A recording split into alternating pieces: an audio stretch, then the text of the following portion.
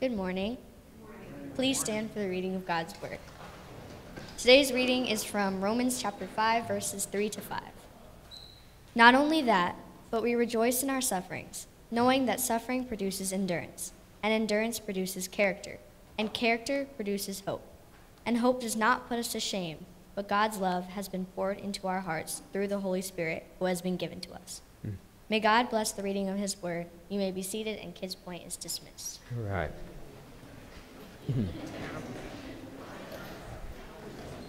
I like how Bethany lowered this like she was three foot three.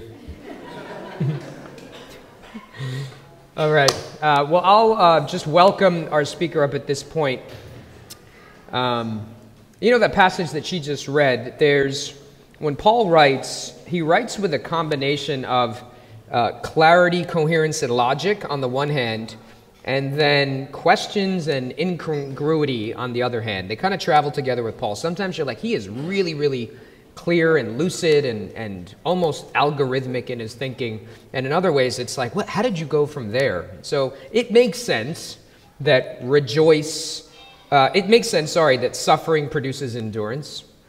It makes sense that endurance produces character. And then Paul starts to like go off on this chain of thought that may not be as smooth, which is character produces hope. And hope does not put us to shame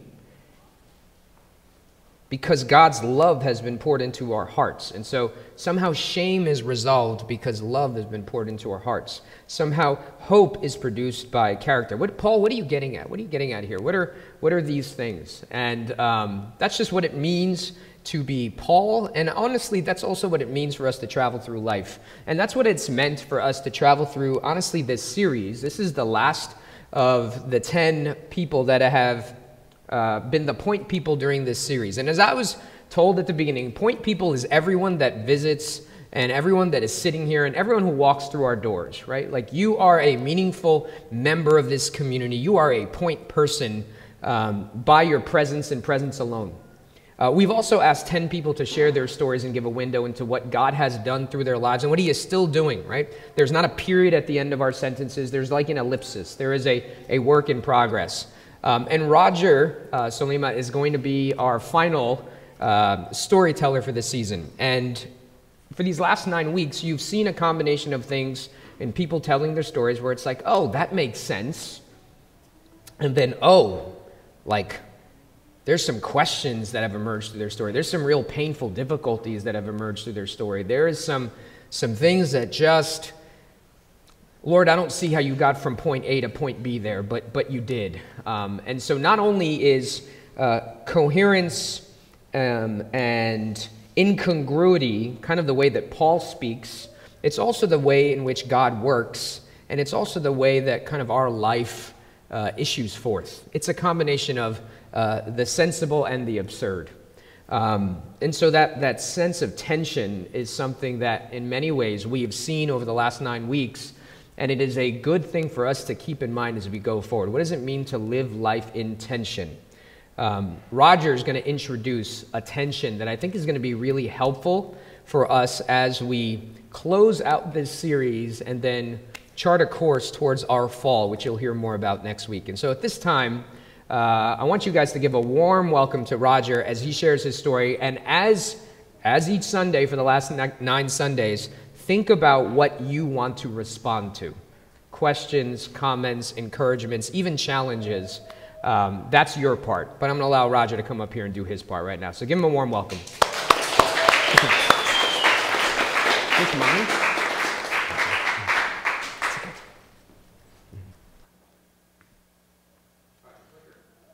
Yes, please.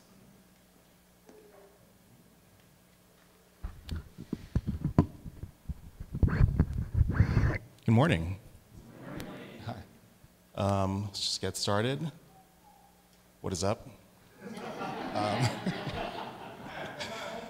as you can see, I'm, I'm opting for holding the mic. I know we've had different variations of people keeping on the stand, the Britney Spears mic. I'm, I'm taking book out of Dave's book because I think for the same reason, we're not used to being up here without something in our hands, like a guitar as some kind of physical barrier between us and congregation.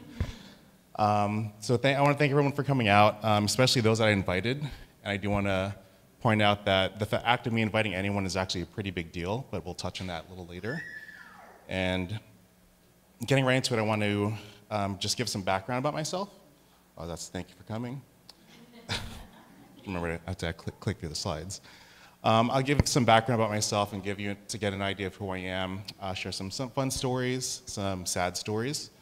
And I want to touch on how these snippets from my life have shaped who I am and why I believe they have value, and I think the ways they are tied to the gospel.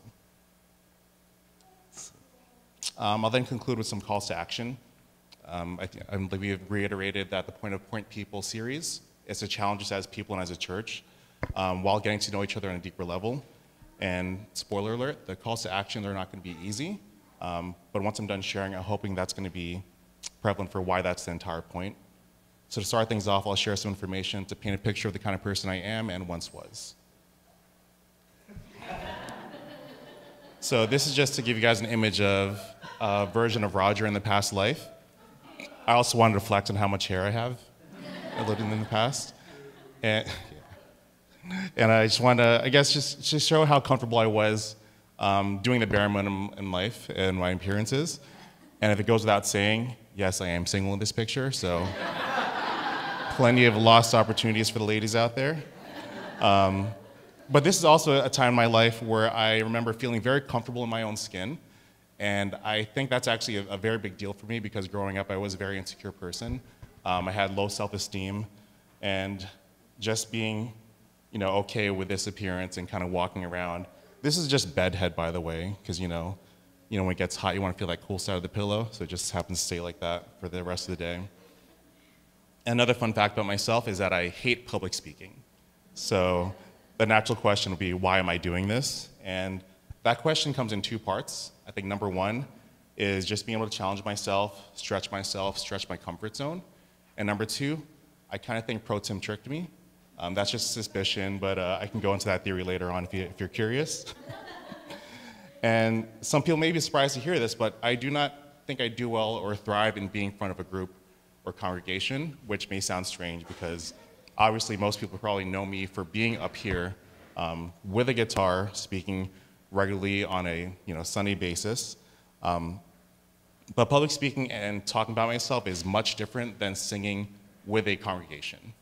And I do want to emphasize the with a congregation part because even though like I'm a musician, I do hate performing. And when singing when no one's singing with you is a lot more difficult than when everyone is singing along. So I'm not used to this scenario, so it's kind of something that we all get to experience together. Um, when agreeing to do this Point People series, all the speakers were encouraged to invite people, and like I mentioned, um, I did invite some people up here in the front, and just throughout, even on Instagram, like you know, just putting out a story saying I'm speaking tomorrow, come out if you can. And as simple as that sounds, um, that is a very big step for me, because another fun fact about myself is that I was actually a music major in college. Um, I thought it was a common thing, but when I was speaking to Lydia like a month ago, she was completely surprised. So I was a music education major. My instrument was classical voice. And like all music majors, before you graduate, you have to do a senior recital. So for most um, music majors, that's a very big deal. Actually, music major, recital hall. um, so a lot of music majors will tend to have like, you know, create a Facebook group, invite all their friends, their family, their friends' friends, their family's friends, um, hand out flyers, post up posters, all that jazz, and they want to see this recital hall, you know, filled to the max if possible. And I have one of my closest family members here today in the congregation, my cousin Justine. I'm going to ask her a quick question. What did you think of my recital? Yes, I did not invite her. That was a trick question. One of the closest family members in the world had no idea when it was or that it even existed. Um, I actually had six people at my recital. It was Lisa, my, my, my now wife, my mom, my dad, my voice teacher, my voice coach, and myself. so that was the entire crowd, and I think the day of my voice teacher must have felt like super bad for me because you know they're typically used to seeing you know people coming in, and she's probably like, oh crap, no one's here. Just like everyone hate Roger or something like secretly? And I said, oh no, it's fine. I didn't invite anybody. Like I didn't advertise at all. And you know, she looks back and is like, I guess I didn't see any posters around the school because they're usually plastered everywhere. And I, she, when she asked why, I just said because that mean there'd be a higher likelihood of people coming, and that was less ideal for me. This is exactly what I wanted. and the amount of people that came to your recital actually had no effect on your grade, so I had no issue performing for an audience of three. And the reason I tell you this story is because it's to reiterate and show how much of a challenge this experience is. From agreeing to do it, to inviting anyone at all, and to actually stand here before you talking about myself which leads us to our scripture. Just to review, not only that, but we rejoice in our sufferings, knowing that suffering produces endurance, endurance produces character, and character produces hope. And hope does not put us to shame because God's love has been poured into our hearts through the Holy Spirit who has been given to us. I think it's amazing whenever you hear of a, an idea or concept and just see how much it applies to different areas of your life. Uh, you know, why would anyone want to rejoice in sufferings? And I feel like just the idea of reframing the way you think about things as negative experiences is just that idea where stepping out of your comfort zone may not really be considered suffering, but it is definitely a negative experience. And by design definition, we have an aversion to the discomfort of being out of our comfort zone.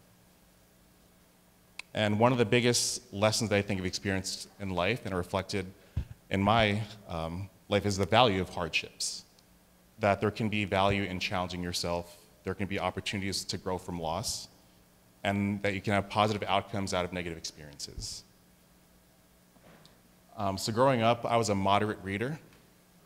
That's a lie. I hated reading. I like never read. If I, if I didn't have to read for school, I never did it at all.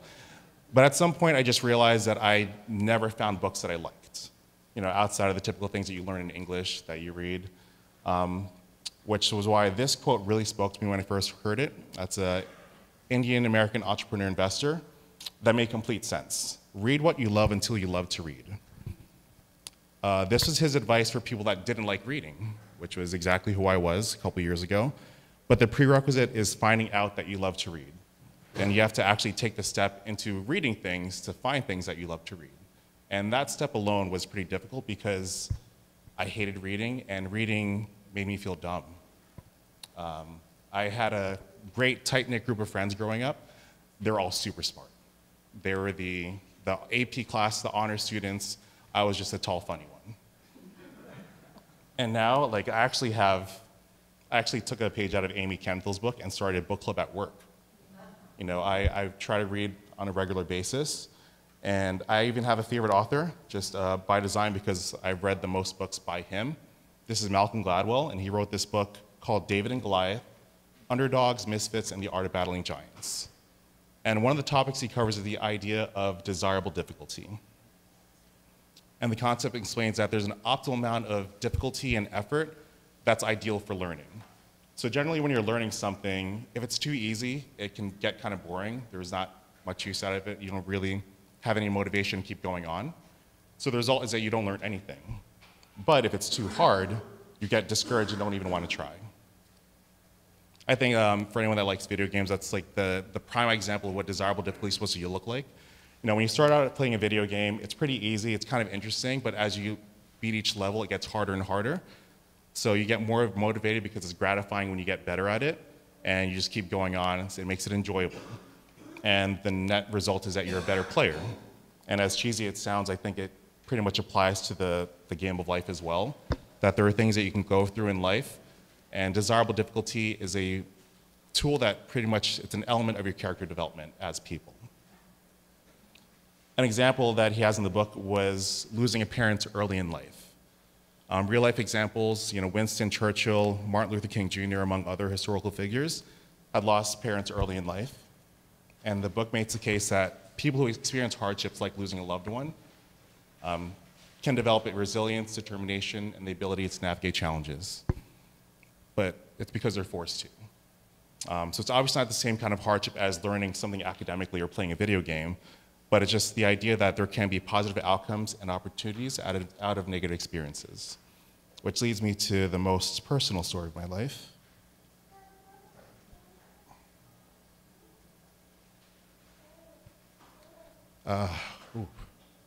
When people see baby pictures of me, they, they're usually surprised by how pale I was and how full my eyebrows were because nowadays that's not so much the case.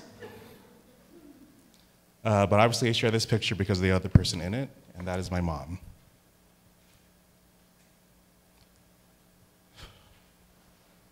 She died from cancer in 2017. And you could say that this was a defining moment in my life, and it'd be a huge understatement. You know, there's a life before my mom and a life after she died. And you could even say that there's a Roger before my mom and a Roger after she died. And as hard as it was to lose her, her sickness and death was such a huge catalyst to my journey into professional development, into personal development. It made me look internally to find ways to improve as a person. I think about the kind of son I was, reflect on those mistakes as fuel to become a better person. The kind of son that she could be proud of, and the kind of son she wouldn't have to worry about after leaving. I'm not sure if you're familiar or been around people that have been terminally ill, but I think the hardest part for them is worrying about how their loved ones will be after they're gone. And I want to live the kind of life where she would never have to worry about that.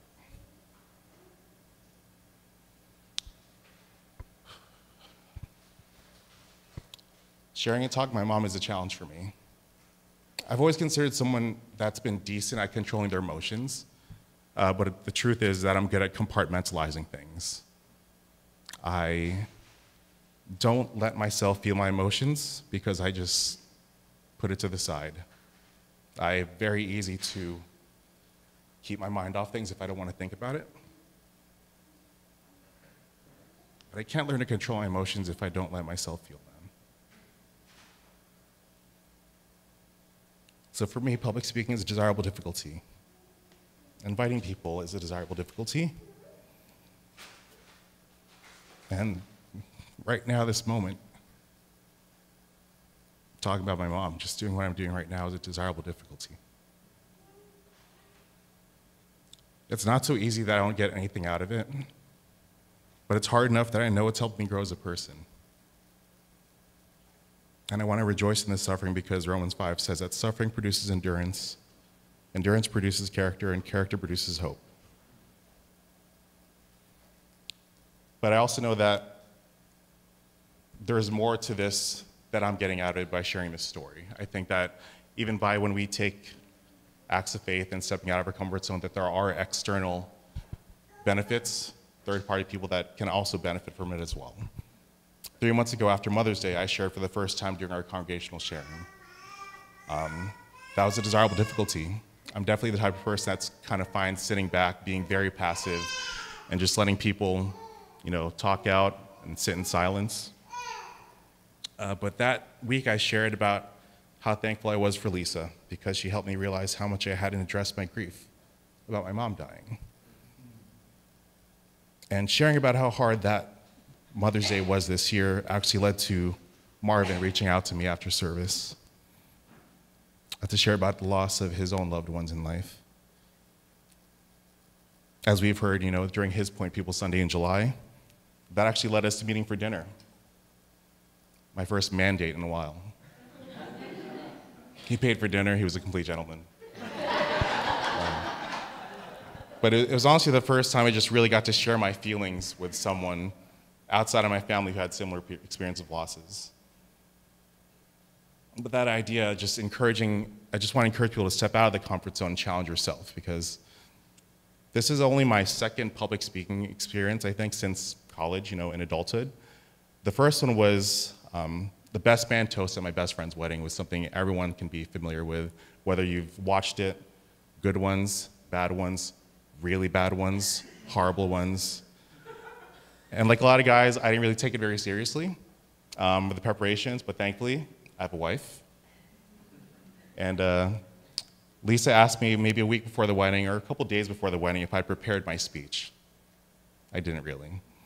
Um, I thought maybe I could wing it because, like most men, I gr- can greatly overestimate my abilities.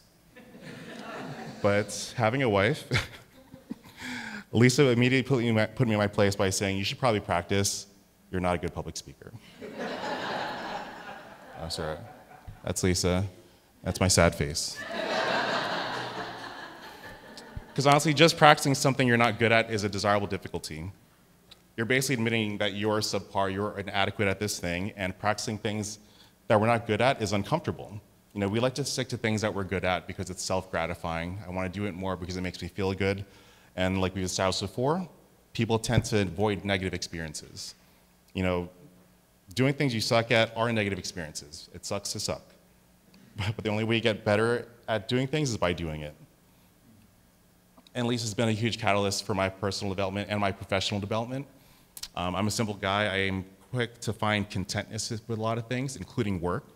Um, but every new position I've had in my career can be attributed to Lisa because she pushed me to apply for every new role I've gotten uh, before I thought I was ready for it. And I think I've gotten progressively better at my job, and I've enjoyed each role more and more in my career. But what does desirable difficulty look like for us in our church?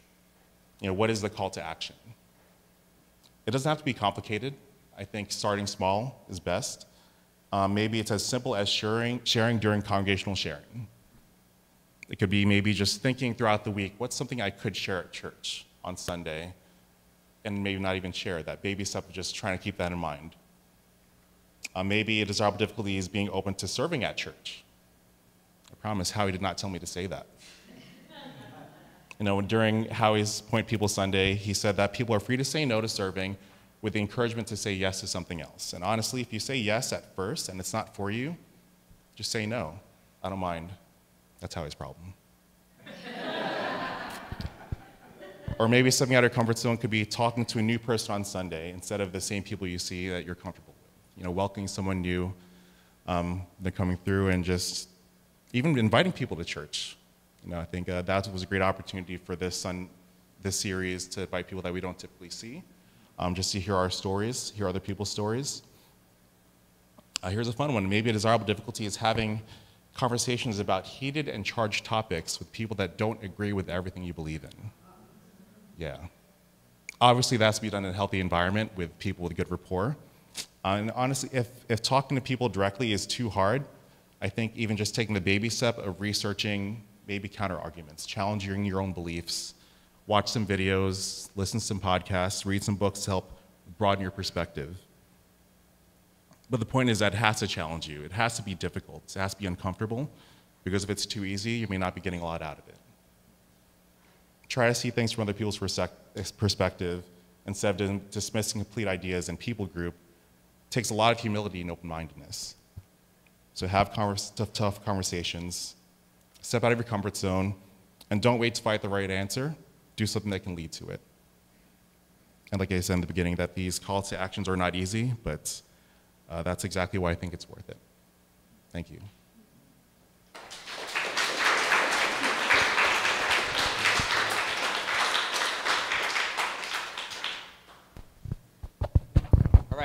I want to say something first. Uh, thank you, uh, Roger, for just blending weight and levity so seamlessly. Um, I, am taking tips on even how to like present things with the with the kind of skill you just did. Um, if you're looking at your clock right now and you're thinking, "Man, we're late in the service," remember, kids didn't get taken back there until like 15 minutes ago. So we're fine, is what I'm trying to say. So at this point, I want to give you guys an opportunity to respond uh, to what um, Roger has shared. If you are someone over the last nine weeks who have been thinking, ah, I want to say something, but, and you've given yourself a reason not to, this might be your little installment of desirable difficulty. So I'm going to start with I think Joanne's chomping at the bit to ask something. Um, we've heard from Joanne before, and we're going to hear from her right now. But if we haven't heard from you, maybe this will be your little uh, deposit in the uh, desirable difficulty piggy bank. I just want to make an observation. Mm-hmm. And this may not be good news to you, but you are a really good public speaker. Yeah. you are really good. I mean, it's Lisa's fault. There was so much uh, thought and organization, and you said the humor is amazing and your natural flow. You know, it just may be that God was going to ask you to do this more. because I really, really appreciated it. Thank you. It's Lisa's fault. She made me practice stuff because, because I was really bad before.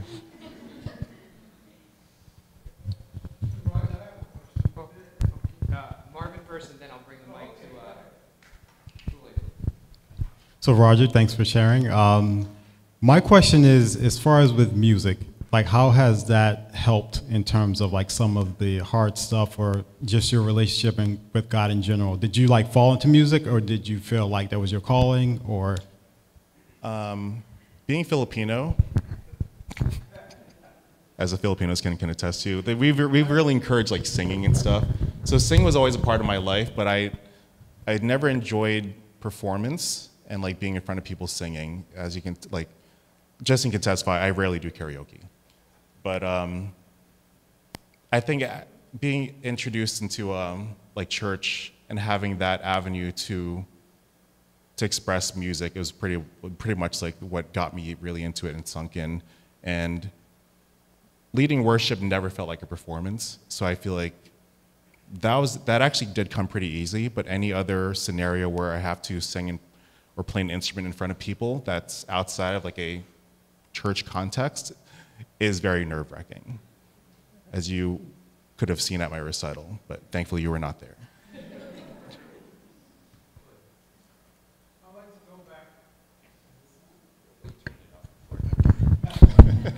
I would like to go back to where you said that it's you like to go have conversations or discussions on areas where people don't want to talk about. Right. Uh, You, you know, we live in a society that's really polarized. So, Yeah. how do you deal with that challenge? Because I like to go there, and never, when my wife is next to me, she's like, "Don't go there." So, how do you deal with that? It, it takes time. Um, like I mentioned, like I think having the right rapport is really important. And I guess even to share some of my experiences, um, sometimes it's hard to come out as Christian, and like at work especially. I actually had a job that I applied for where I had a friend recommended I leave my church stuff out of my resume, just because you never really know how it can be taken. So I know when I've talked to people at work, make friends with them, I, I do like little, I, I find little, little ways to test their temperament on certain topics and then let myself go there if I feel like it's a safe and healthy environment where they're not going to cast me out for, for going to church on Sunday, essentially. But um, yeah, it definitely takes time. It's not something that can be rushed. So a lot of that would be me. I, I've done a lot of research on, on different things and taken both sides of the debate. And I think that definitely helps with how those conversations can flow uh, because you can see things from their perspective and find ways to connect them if there are any opportunities to find common ground.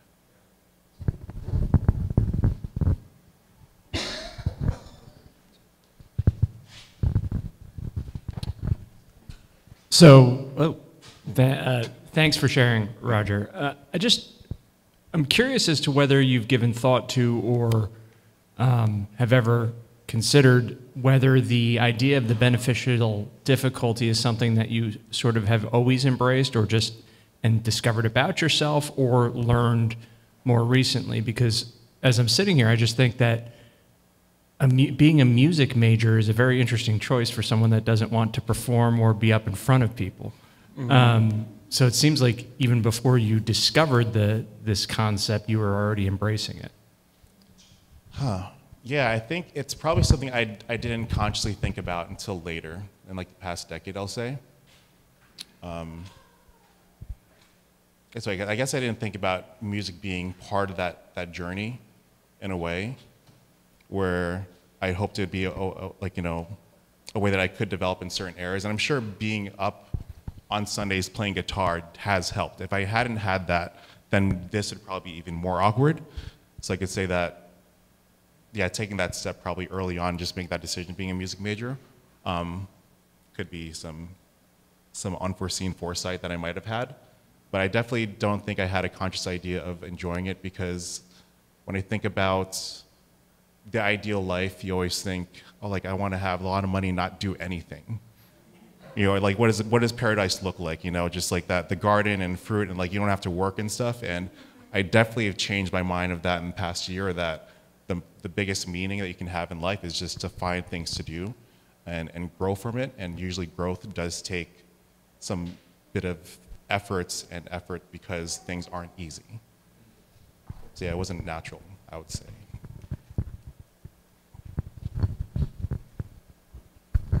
Hi, Roger. I just wanted to um, just kind of remind us and to thank you that, you know, through the pandemic and through just all the changes that have gone on, like you have been a solid source of, of leadership. And I just want to thank you for that. And I also wanted to say that um, you have grown so much because I remember when we were back in um, Villagers Theater, mm-hmm. there were times when um, you would lead worship and then you would pray, and I didn't know what you were saying because because you would just That's talk really fast and really quick, and I wouldn't know what he was praying about. Um, so I just wanted to say that that you know I just wanted to encourage you that there's growth there, mm-hmm. and um, and just thank you for all that you do for for our church. Thank you that's the exact example that Lisa would have. It's like you can't even pray properly in front of. I am a mumbler. I right. speak too quick sometimes. So first off, Roger, thank you for the courage that it takes to share, to speak in front of everybody. So my question to you is in regards to grieving with other people. So with the caveat of, have you grieved with other people I guess, recently, or how would you grieve differently with people, knowing that in your testimony that you were sharing that your grieving process changed or was significantly helped with Lisa? So, with that experience in mind, I don't know if you've grieved recently with somebody, or how would you in a future event, knowing how you've, I guess, grew in the grieving process? Sorry, I think I haven't grown much. I think just the action of just thinking about it and letting myself feel it is probably like the baby step that I, am in right now. Where I, I, like I mentioned, I, I'm very easy to just change the subject in my mind and don't let myself sit with things if I don't want to think about it. So I think just that step for me to let myself sit in my feelings, um, find avenues to talk about it. I think sharing it today um, I've also been like open to therapy that I, that I wasn't really before. So I think that's a, probably a good way for me to process my feelings um, a little more detailed and more heavily. Mm. Yeah, that's pretty much. All right. Anyone? Anyone? Bueller? Here. Hi. Hello. Um, I just want to thank you for that just encouragement and reminder to um, to step out of one's comfort zone. I like my comfort zone. Yeah. but um, I also agree with what you were saying, like how it does benefit us and helps us grow. And um, yeah, I'm just thankful for that reminder. And I also like the the baby step sort of approach because sometimes, you know, you can jump into something like, I'm going to be this. And it's yeah. like, that's just unrealistic. So, yeah, it's like small, steady, just keep mm-hmm. moving. That's what I usually tell myself. I'm like, just keep trying to go forward. Yeah. Exactly. Even if you're like crawling and dragging your leg, which I kind of do because, you know, I have a bad knee. Anyway, thanks so much. Thank you. Right. Um, let's give him a round of applause.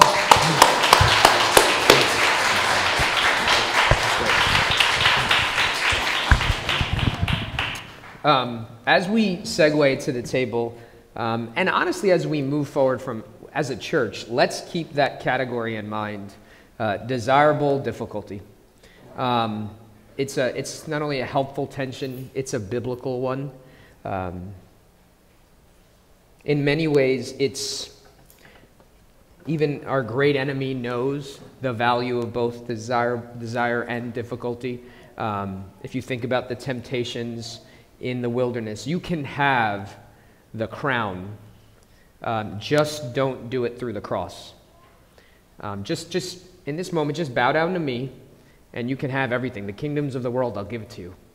Um, and uh, Jesus picks the desirable difficulty path. And I don't know that it's said any better than the author of Hebrews, the, the pastor in the book of Hebrews, says it. And I hope you hear uh, Roger's story in this. I hope you hear his exhortation in this, but I also hope you hear this, uh, the gospel that is embodied at this table through this. Um, because when we come to this table, yes, we reflect on our lives where we, when we draw our comfort zones, uh, where we shun the opportunity zone. I love that slide as well. And then we look to Jesus. And so that's actually how this passage starts looking to Jesus. This is Hebrews 12 2. The founder, I like the entrepreneurial language that's used there of Jesus, the founder and perfecter of our faith, who for, and listen for it, who for the joy that was set before him endured the cross, desire and difficulty, despising the shame, and is seated at the right hand of the throne of God. Right? Um, you get crown, but only insofar as it moves through cross. Uh, and so, as we come to the table, right, as, as Dave and Roger escort us to the table uh, into a reflective space, reflect to whatever extent um, that charge, that call to action is for you. It is for you, it's for all of us, it's for the we of Point Community Church. What does it look like for starting now, starting even from this moment, for us to take a small, medium, or large step um, that you can sustain, and the Lord will help you sustain by His Spirit through His people, um, a step towards a life of desirable difficulty. And so I'm going to pray and then come when you are ready. Father, um, as we take of these elements, the, the broken bread, uh, the poured out cup, um, we take in the elements of the, the climactic moments of uh, your gospel, your good news. And even to think that we take of bread, we take of something that sustains us, something we savor, something that um, we would love to eat, uh, that, that satisfies us. And yet here it embodies great, great difficulty, great suffering, crushing even. And then this cup that has something that might be sweet and refreshing symbolizes uh, you emptying yourselves to the, to the utmost. And so, Lord, as we come to the table, whether we have been following your Son or whether we um, are considering what that looks like, would you please beckon us to this table, um, beckon us to a life of desirable difficulty? Because as we take steps along that path, we will find that that is a cross shaped path.